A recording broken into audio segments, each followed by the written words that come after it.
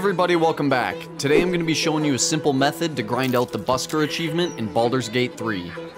In my playthrough, I already had Shadowheart respec into a Bard, so that's who I'm going to be using for this video, but any Bard with a high Charisma will work, so if you don't have one, head on over to Withers for a respec.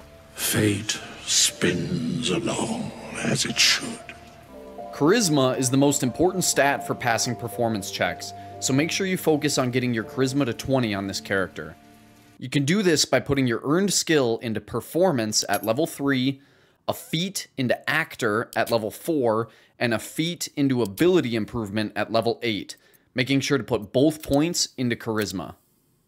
Next, you're going to want to head into the main menu and select difficulty. Change your difficulty to custom.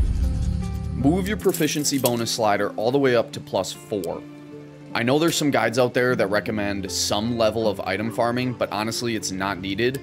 As long as your bard has 20 charisma and your proficiency bonus is set to plus 4, you should pass every performance check like I did. Now that we're set up, let's start earning some money.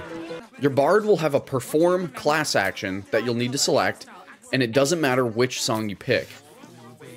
Waiting an additional 5 seconds after your performance check passes allows more NPCs to gather around, potentially resulting in a higher amount of gold being thrown down on the ground.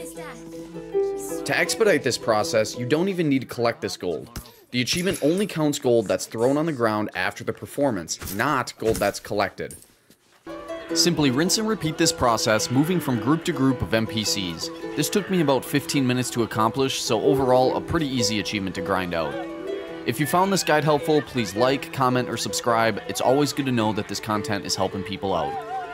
Once 100 total gold has been thrown on the ground, the Busker achievement will pop. Congratulations. Thanks for stopping by, and we'll see you next time.